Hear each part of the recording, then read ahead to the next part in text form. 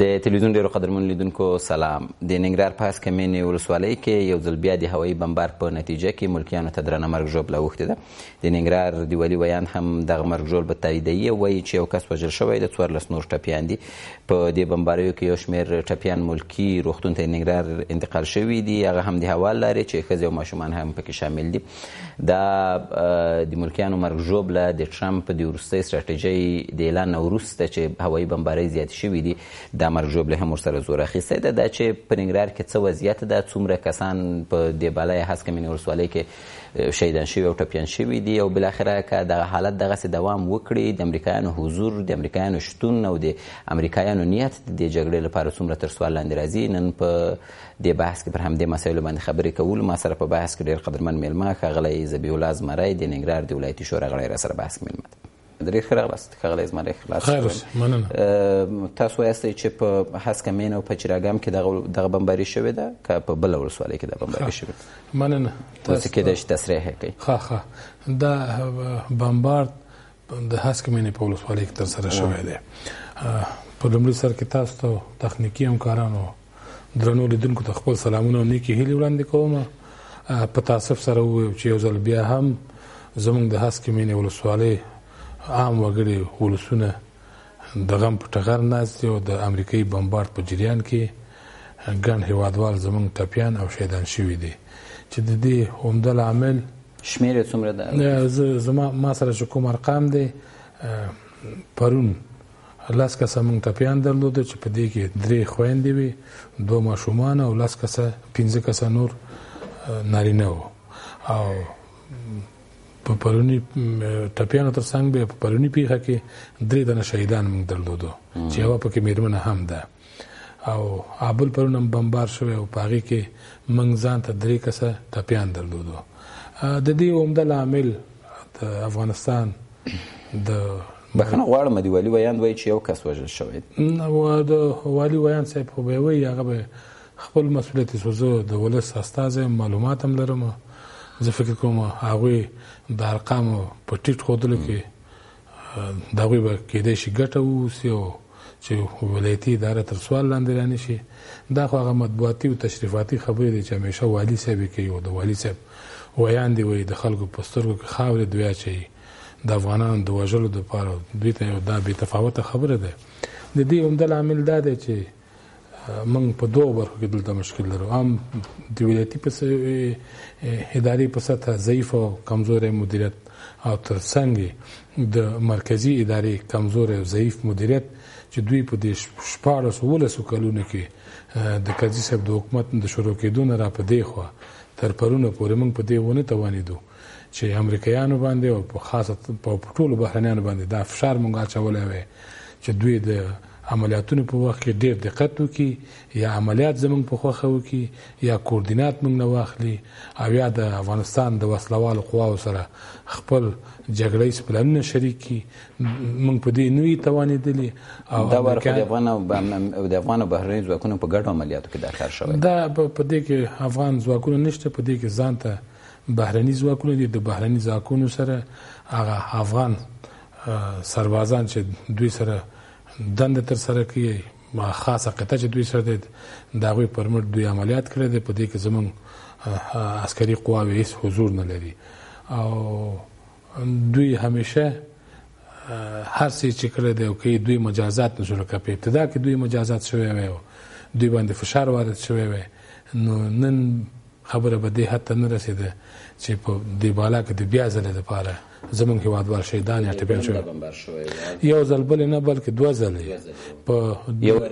کرزي صاحب په وخت کې شوی و بیا هغه نه هغه د کرزي صاحب په وخت کې شوی بدبختانه چې هغه په واده کې تر سره شو چې څو نوي کسان شهیدان شوي وو په شمول د ناوي به په یو څلور میاشتې مخ کې په دوو هفتو کې دوه ځلې بمبار شو چې ډیر ګن شهیدان مونږ په هغه کې درلودو دا د دې هڅ کې مې دا څلورم پنځم ځل دی چې ملکیان پکې زیانمن کیږي او بل اوس چې هغه په جنازي مراسمو کې انفجار وشو هغه هم د همدې هڅ کې مینه د ولسوالۍ د سپینګیری افغاني ولسوال د جنازي په مراسمو کې دغه سپیخه تر سره شو مونږ خدای شکړې ودای شي مسولیت مو واخیست چې موږ دا کار کړی هر څه شکړې مخالف د مخالف خو راځي دا کار کوي تر ډېره بریده پورې موږ ګیله هم نشو کولی اما دا چې امریکایان دلته د یو دوست او ستراتیژیک ملګري په توګه باندې راځي او دا کار کوي دا بحث تاسو بیا زه یو شی باندې زه ډېر تاسف کوم ما ته د شرم خبره هم ښکاري هغه دا دی چې کله کله دا زمونږ مشران هم وایي چې دا زمونږ نړیوال دوستانو بین المللي دوستانو امریکایي دوستان او همدې امریکایانو مونږ ته دا یې وکړو چې زمونږ خاوره یې د امریکایانو سره د پروتوکول له مخې د د کونړ نه نیولې تر ننګرهاره پورې تر قندهار او خوست او پکتیا او دې مناطقو کې چې موږ په صفري نقطو کې دوی سره سرحد درلود دوی مخکې راغله همدغه امریکایان د دوی ملاتړ وکړ دا زموږ دوستان نه دي موږ چې کله کله بعضې خبرې کوو هغه د پر دغه بنیاد وایو چې دوی موږ سره موږ سره مرستې کړې دا مرستې د خدای پر رضا نه دی کړې د خپل اهدافو د پاره کړې د خپل د ګټو د پاره کړې امریکایان هغه امریکایانو چې روسان چې په افغانستان کې نظامی حضور درلودو په افغانستان کې په جګړه کې بوختو امریکایان د خپل د ګټو د پاره مجاهدینو ته به استنګر ورکولو خو کله چې روسان د افغانستان نه ووته د ډاکټر نجیب الله حکومت نسکور شو سیاسي قدرت مجاهدینو ته انتقال شو د د مجاهدینو په منځ کې د جګړې د جګړو په جریاناتو کې امریکایان به تفاوت نه و لاسم درلود او دوی په دا کارونه کې دلته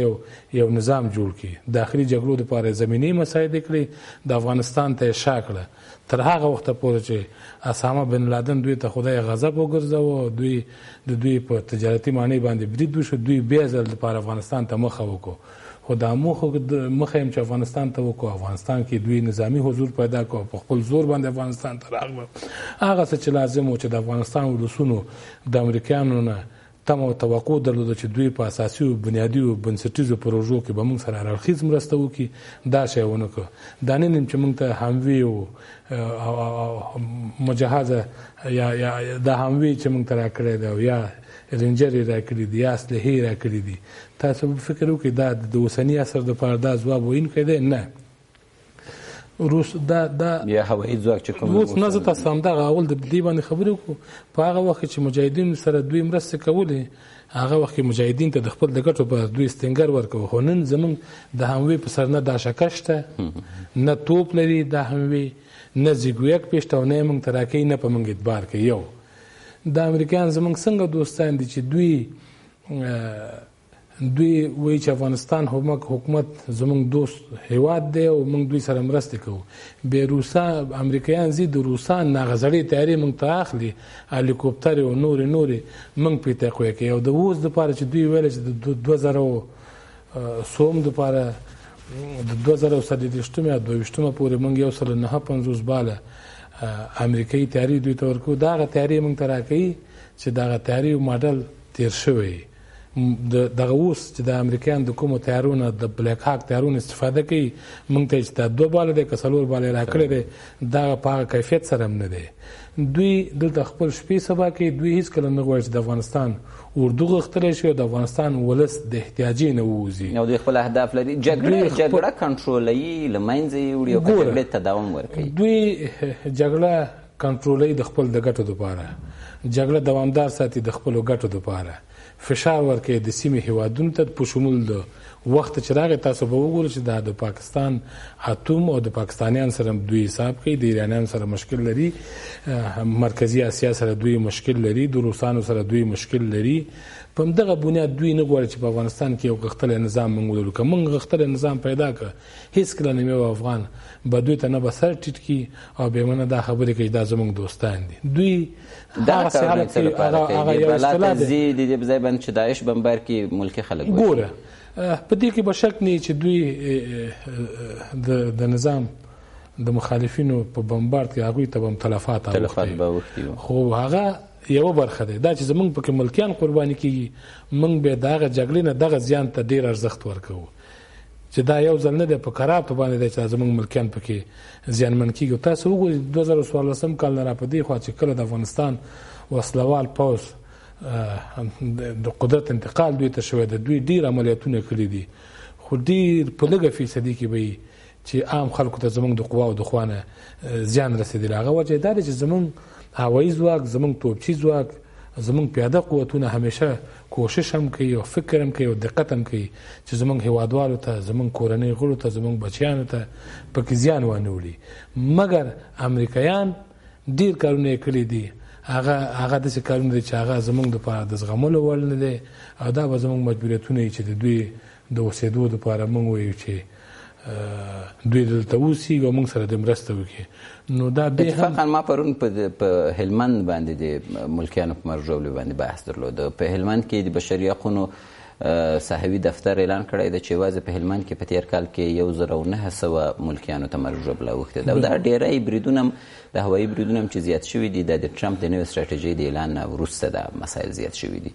ستاسو باور څه ده د هوایی بریدونو زیاتوالی مشکل حل کوي او که مشکل زیاتوي که دا فاصله د ولس او دولت ترمنځ زیاتوي ګور یو خبرې ته به چې موږ فکر وکړو هغه دا دی چې دا بم او انفجار او دا شی نه دی زموږ استاد دی وطن ته خوشبختی نه راوړي که خوشبختی راوړي وي د 1450 د ثور د ومنه تر دغه لحظه پورې ان تر څوارلس ټنه بم خو مې استعمال شو په دې ملک کې د نړۍ په هیڅ ګوټ کې استعمال شوی نه په دې ننګرهار کې استعمال شو دلته دغه د بمبار چې دوی د امریکا یا د ترامپ نوې ستراتیژي په قاطع ماموریت ته دند سپارل دی او صلاحیت واکونه ورکړي تاسو کولای شئ چې هر اړخیز عملیات او هوایي بمبارد د دښمنانو په نابودولو کې کار واخلي دې کې به شک نۀ خو زه وایم که تاسو رښتیا د افغانستان د نظام او د افغانستان د ولسونو دوستا ناست یئ دغه امکانات او تجهیزات چې تاسو خپل قواو ته ورکړی دا د افغانستان قواو ته ورکړي دا د افغانستان وسلوال پوځ ته ورکړي دا د افغانستان اردو ته ورکړي دا د افغانستان خاصو قواو ته ورکړي دا د افغانستان کمندو قلو اردو ته ورکړي زمونږ د افغانستان ځواک هوایي ځواک تقویه کړي دوی دا کارونه نه کوي او تاسو فکر وکړئ یا که جګړه ختمول غواړي خلاړ شي هغه ترورستان او منبع چې چیرته دا غواړي که دوی د جګړې ختمول غواړي د ترورستان څنګه اسامه بن لادن دوی په پا پاکستان او ایبټ آباد کې پیدا کولای شي او دوی چې په لوم په 2000 لومړي کال کې چې په افغانستان کې دوی عملیاتونه شروع کړ دوی ول چې موږ سپوږمکۍ خېزولای دی او 15 سانتي پورې جنس هم په ډیر اساني سره کتلی شي او تاسو نورې شبکې چې په پاکستان کې تریننګ کیږي او تجهیز کیږي او افغانستان ته استول کیږي هغه بیا نه ګوري او که تاسو ته لږ فشار ورکړ شو تاسو هغه سي حرکت کوي دا اوسنۍ جګړه هم چې زه فکر کوم چې پاکستانیان او ایرانیان په ګډه د د د روسانو سره لاس یو کړی دی د طالبانو د تقویق لپاره دا نوې ستراتیژي د همدې د همدغه موخې لپاره دی چې دلته د روسانو لاس قطع کی که دوی د روسانو لاس د قطع کېدو هدف نه وي خو دا شپاړس کاله کېږي چې د امریکایان په افغانستان کې نظامي حضور لري یا اوولس کاله کېږي دوی کله خپله قواوې په خپل سر زیاتوي په خپل سر یې کموي بیا بیرته په خپل سر زیاتوي نو دا تاسو تاسو چې دا دومره کارونه کې مهارت لري ولې بریالي کېږي نه تاسو فکر وکړئ همدا اوس نه غواړي چې بریالي شي نه غواړي چې جګړه دوی نه غواړي چې موږ په خپل ودرېږو موږ خو ځان غم رانیولي وو یو بل تاسو فکر وکړئ دا په عسکري قواو کې چې دی دا دیسی توپونه چې دي دا د ډاکټر نجیب الله د حکومت نه پاتې دي او د امریکایانو بل خیانت چې موږ سره کړی دی ګوره د مجاهدینو په وخت کې او د استاد رباني او د دې تنظیمونو په حکمرانۍ کې د پیاده اسلحې یا خفیفه اسلحې ټول چور شول تالان شو قرض شوې خو دا توپ او ټانګ او دا تیارې یو حده پورې وي د دې کرزي د حکومت پورې خو دا امریکایانو چې چیرته زمونږ د د توپونه او هغه بمبارد کړ چې چیرته زمونږ ټانکونه او هغه بمبارد کړ چې چیرته زمونږ د رادار سیستم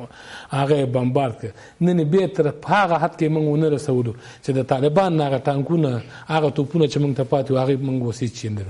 دا یو نیم توپونه دیسی توپونه چې زمونږ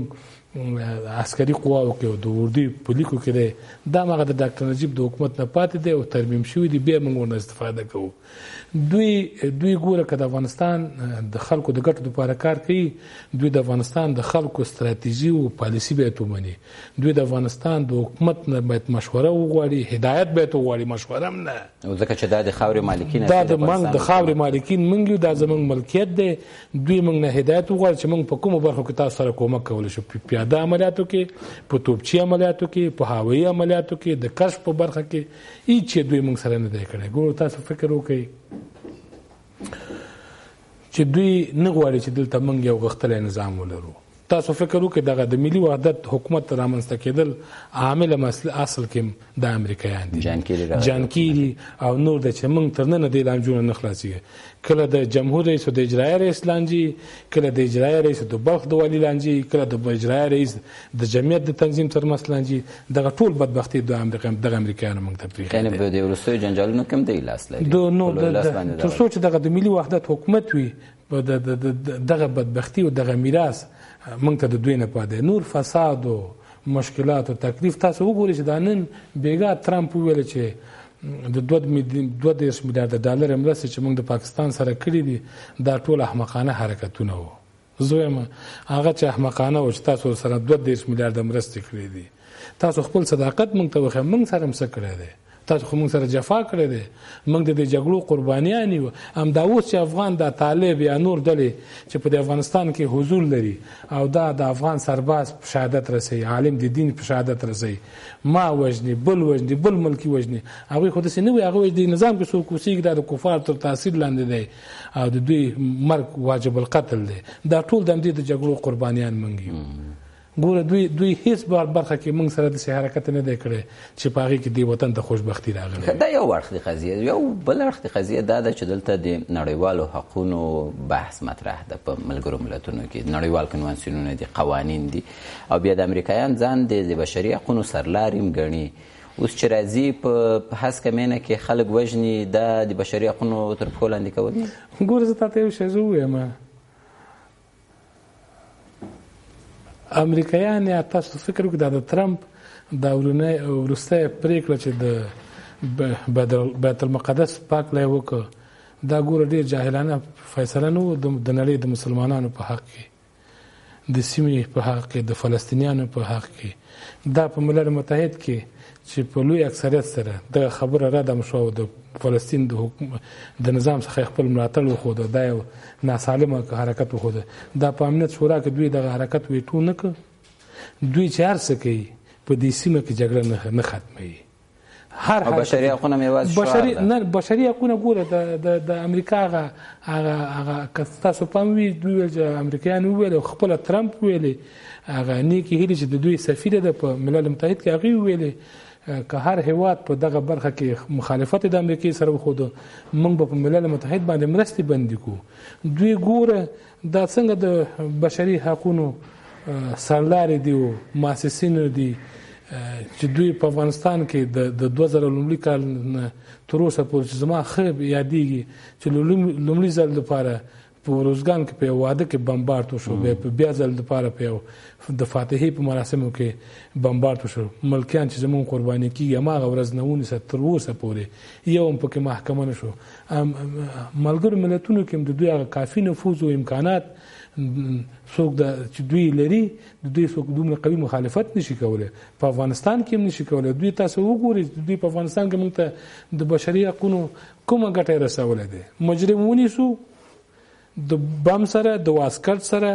د انفجاري مواد سره د موټر بم سره وایي فشار ورته مو ورکوي چې بیا دا بشري حقونه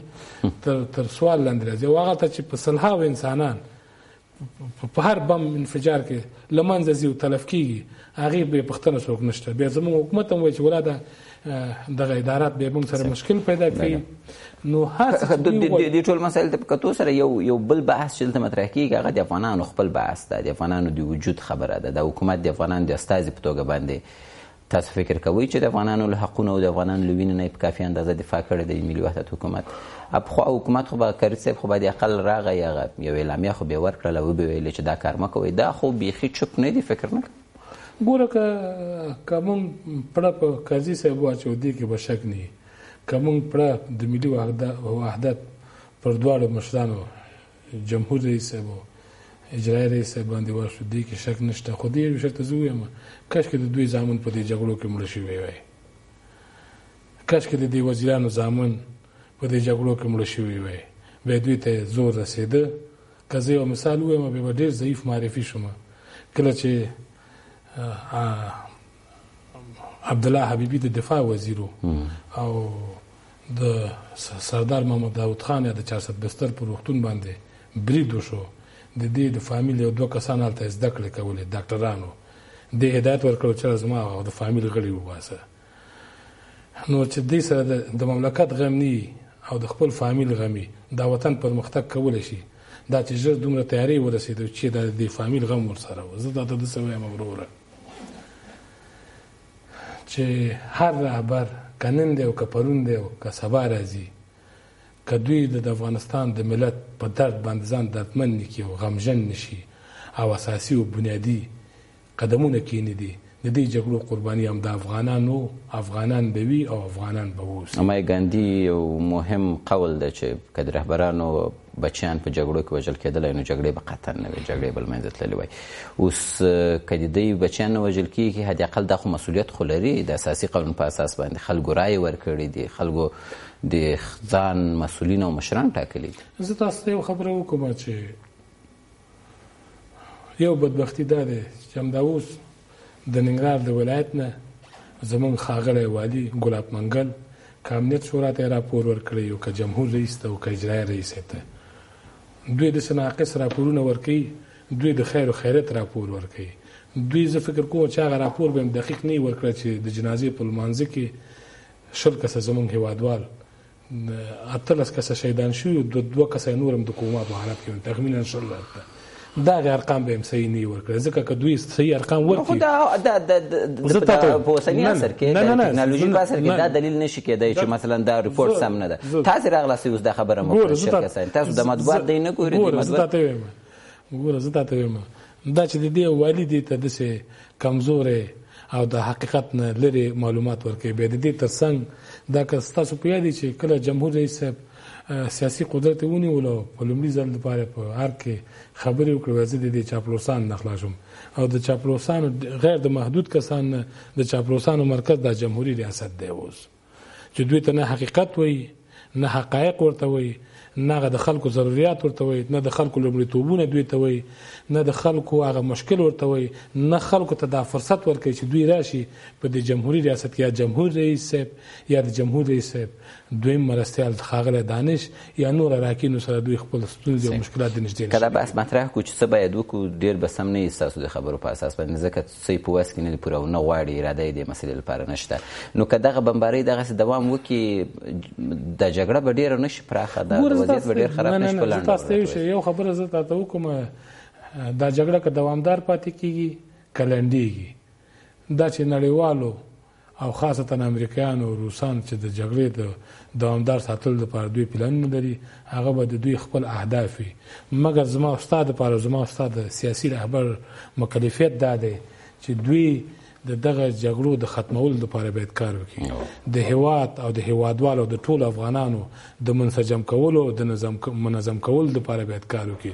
د افغانانو د وحدت او د یووالي دپاره کار وکړي، د افغانانو د قوت دپاره کار وکړي، اوس چې موږ ګورو ورځ تر بلې اختلاف هم زیاتیږي او مخالفتونه هم زیاتیږي او بیا هم قرباني موږ یو. ډېره مننه زمری صاحب کور ودان چې بحث کو اسیر سره ډېر تشکر. قدرمنو لیدونکو ستاسو ملتیا مننه کوو خپرونه مو پای ته ورسېدله تر بیا مو الله مل شه.